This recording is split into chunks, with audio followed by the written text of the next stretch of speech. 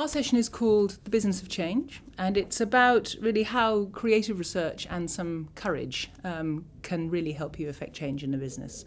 Uh, we've got four client companies um, on the stage talking about it, with some of them with research support.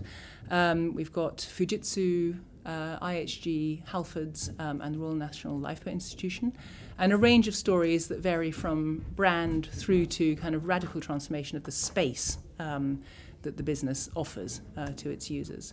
I think the reason that people will be interested in this is because it's about how this really affects transformation in the business, about some of the challenges that people faced, how they overcame them, um, and how really creative use of insight techniques can take you further than you thought possible.